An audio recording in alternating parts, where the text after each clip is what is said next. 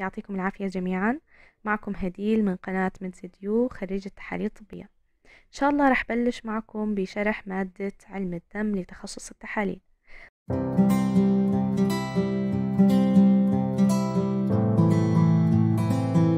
طبعا هاي المادة مثل ما بنعرف جدا جدا هامة وزخمة وفيها معلومات مفيدة لكم من المواد اللي رح نحتاجها كثير في العملي وبشغلنا بالمختبر.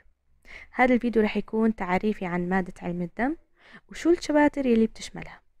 أول chapter رح نحكي عنه هو ال basic hematology يعني أساسيات علم الدم. رح نحكي عن مكونات الدم اللي هي ال RBCs خلايا الدم الحمراء ال white blood cell خلايا الدم البيضاء والبلازما. رح نحكي عن كل مكون طبعا بالتفصيل الممل. ورح نتطرق للفحوصات اللي بتندرج تحت تحليل ال CBC اللي مثل ال MCV ال PCV اللي هو ال hematocrit الهيموغلوبين وإلى آخره فحوصات كثيرة. ثاني chapter رح نحكي عن ال hematopoiesis اللي هي تكوين خلايا الدم. كيف تتكون هاي خلايا الدم؟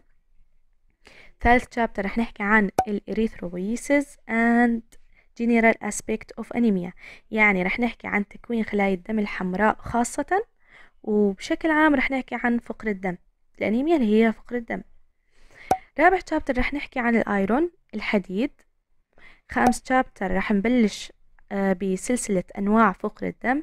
وأول نوع رح نحكي عن ال hypochromic anemia and iron overload.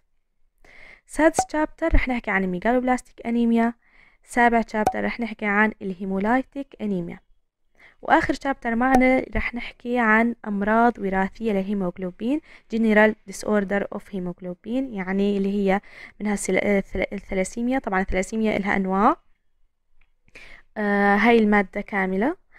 بس بدي أحكي نصيحة صغيرة وكثير هامة. أنت كطالب كل مادة بتدرسها لازم تكون عامل ملخص لكل شابتر أنت بتدرسه. اعمل ملخص لكل شابتر واحتفظ فيه.